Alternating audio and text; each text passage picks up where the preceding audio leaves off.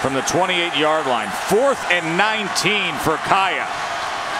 They send four after him. He's got plenty of time to launch it. A little bit of pressure came in late. To the end zone they go, and that is caught for a touchdown.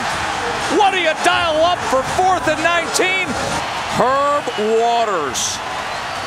A 28 yard touchdown catch in a driving rainstorm on fourth and 19. The first passing touchdown allowed by this Duke defense this year.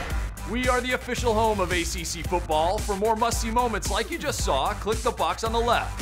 For game highlights, click the box on the right. And for everything else from the ACC Digital Network, subscribe now.